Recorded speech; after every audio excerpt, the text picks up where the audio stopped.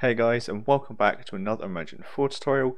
Today is the first part of a new series I'm making for a kind of John Wick inspired shooter minigame. So what we're going to be making in this is an enemy spawner, the enemies will always run at the player, the player can't die and they have unlimited ammo but they do need to reload, we've got death counters, timers, shooting, muzzle flash, sound effects, blood, all this different great stuff which we're going to learn to make in this series. So it's just a nice introduction to third person shooting with a nice little mini game which we can make. So this is what we're making and today it's just going to be the first part where I'm setting up the project, so creating it, adding in sprinting and also adding in any extra stuff we're going to need, for example content from the marketplace. So without further ado, let's get right into it. So to create the project, we're going to press the games category here under new project categories and hit next. And I'm going to go with the third person template because I want it to be a third person shooter, so third person is going to have everything that we need. So then I'm going to press next again, place this where you want, so for me it's just going to be in the E folder, which is going to be fine, and we can name it what we want as well, so I'm just going to name it TPS underscore minigame for third person shooter minigame. Again, name this whatever you like and place it wherever you like as well. And we also want to make sure that we're using blueprints, maximum quality, I'm not going to use ray tracing because my graphics card doesn't do that, but obviously if you want ray tracing, then go for it. And also desktop console, and we are going to use the start content as well. So then we're going to hit create project, and this will now load up the project ready for us to build in. So I'll get back to you once this is loaded. So my project is just loaded, and as you can see, we've got this simple project here with the start content, third person content as well, and we can obviously hit play, and we can move around where we want. So I'm going to go into a new viewport here, and we can just move around, jump and all that great stuff. So what I'm going to do is exit this and I'm going to open up the Epic Games Launcher down here. Let me just bring it onto screen. And what we're going to do is go to Unreal Engine here, then go to the library, or for you it might be Marketplace actually if you don't have these, so we'll go to the Marketplace first to show you which ones we need to get. And I will leave a link in the description down below to these assets on the Marketplace for you to use and download. So let's go full screen, we're going to search products, and what we're going to get first is the animation starter pack.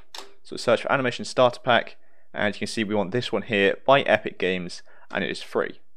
So we're just going to click on it and what you want to do is you want to make sure that you download it, I believe it's called, or it's either buy or get and then download. But essentially it is free, you don't need to pay for it and you can use it in your games. And then we're going to go back and we're going to search again.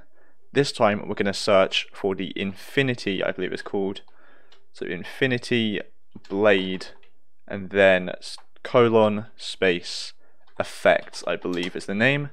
Yeah, this is the one here. Infinity Blade effects, also free, also by Epic Games. And you can see we have all these different great effects which we want to use here. The reason we're using this one is because we have a nice muzzle flash already in here for us to use, which is going to be great. So again, do the same thing of getting that. And now we're going to go over to the library tab up here so you can add them there, but it's easier through the library. And we're going to scroll down, and now you can see this is where we have our vault, which is full of all the different assets from the marketplace. So you can see I have quite a lot, I rarely use them, but a lot of them are free, so it's best to get them anyway. So let's find the animation starter pack, which is here. We're going to press add to project, search for the one we have, so mine is TPS minigame, select it and hit add to project.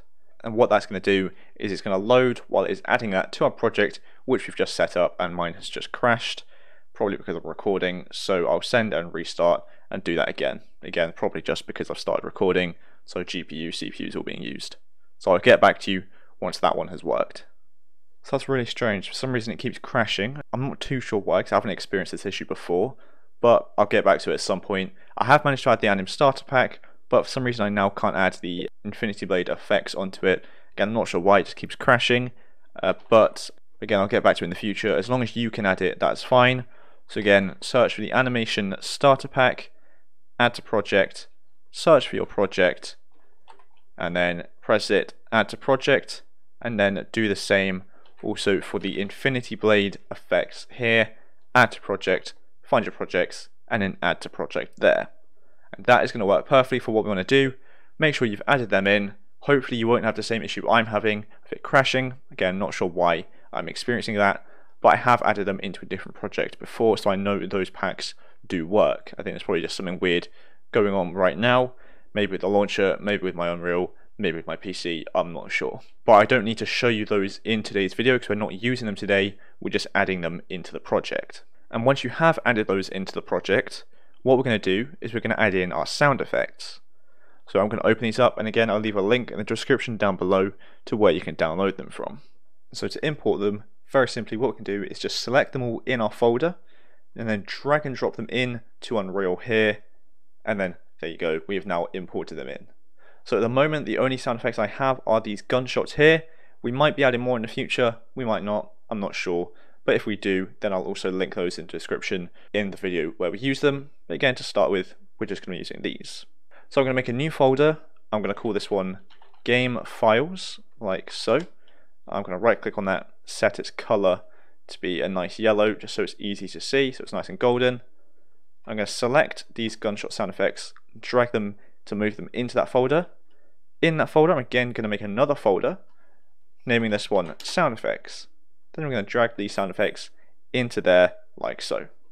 And let's have a listen to what these are like.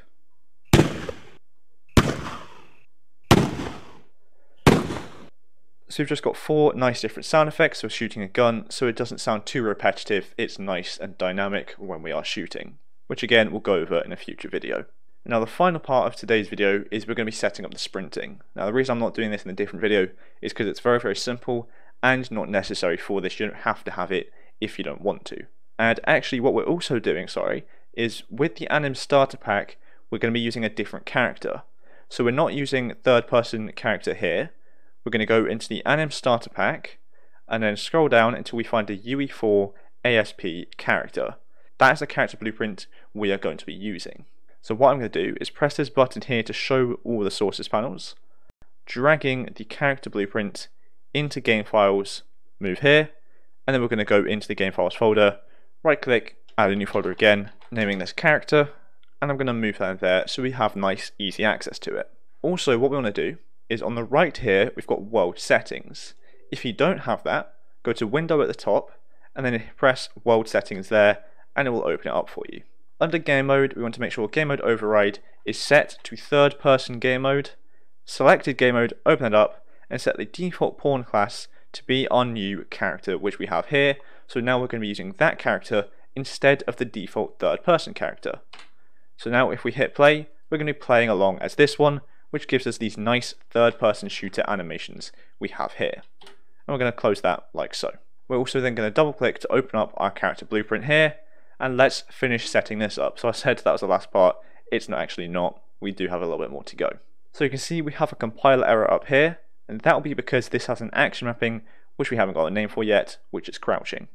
So let's set that up now. We're going to go to Edit in the top left and Project Settings. Once this loads, we're going to go down under Engine to Input and create an action mapping here. So we're going to hit the plus action mapping, naming this Crouch, so it is spelled the exact same way as this one here. And I'm going to set this to be the C key and the Control key. So you can set these to whatever you like. I'm setting it to C and left control like so. So those are the buttons you press for crouching. Then I'm going to hit the plus action mapping again to make another new one. And I'm going to name this one sprint or sprinting or run or whatever you like. And I'm going to set this one to be left shift. And so what it does is essentially whenever we press one of these buttons, so if we press C or left control, it will fire off a crouch action mapping. If we press left shift, it will fire off a sprint action mapping. And that means we can set up any code we want off of that action mapping and these buttons will fire it off. So I'm going to close that like so. If we compile, that compiler error has now gone and it's working perfectly for how we want. So crouching is already built in for us by default in this character. Also when you hit play you can see we have this kind of outline around the player. That's the capsule component.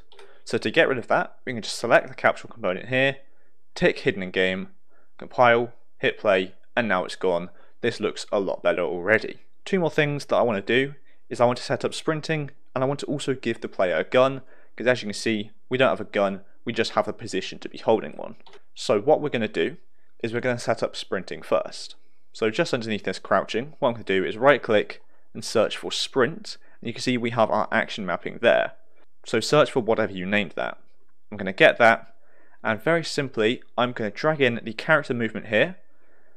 Out of this set max walk speed like so, as that is how we change the speed of the player, so how we run and stop running. Connecting that into pressed, I'm going to duplicate it to get another one into released, making sure to connect the character movement into target. I'm going to compile and save. So how do we now find the values which we want for the player's speed? Well, if we select the character movement in the components list, we can search for set max walk speed. Sorry, just max walk speed, not set. You can see by default it is 270. So released of the sprint action mapping, we want to set to 270, so that is our normal walking speed. So sprinting, so the top one, just wants to be faster than that. So I'm going to set it to 450. You can set it to whatever you like, but I think those values are going to be fine for me. We compile, save, and test this out.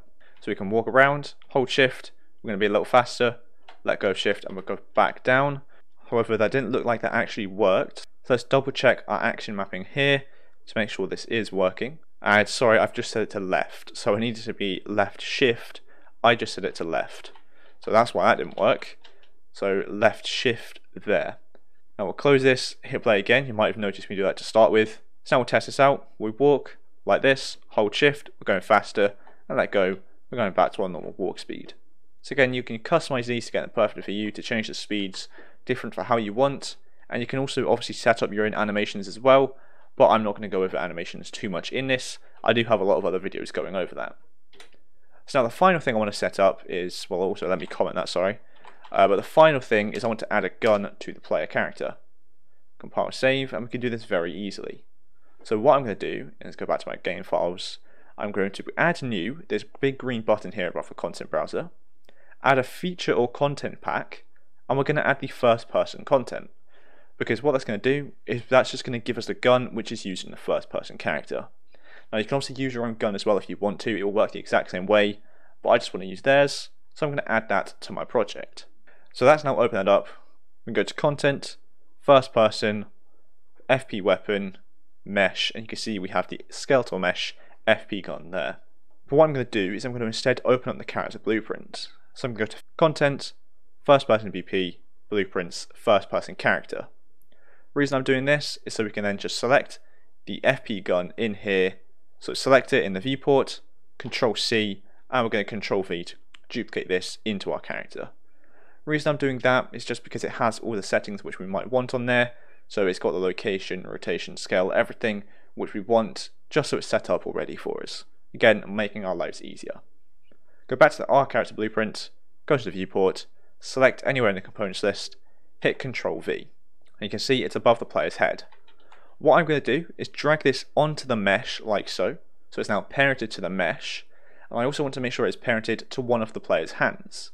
So I'm going to search here and just get hand R or L, so I'm going to go for the right hand there. And I'm also just going to reset the location and rotation like so. So now we have this gun here, and as you can see it is moving along with the hand here because it is parented to it. So now we've just got the fiddly job of moving it into the correct position which we want. So let me rotate it first and then move it into position. I'm also going to turn off snapping for moving and rotating just so I can be a bit more precise with where I want this to go. So I'm going to move it down a bit as well. I think that position is going to be good. Rotate it a little more and then I'll need to move it again as well. I'm also going to lower my camera speed so I can get a bit more precise with where I want to go. Just again, make sure this looks perfect for how I want.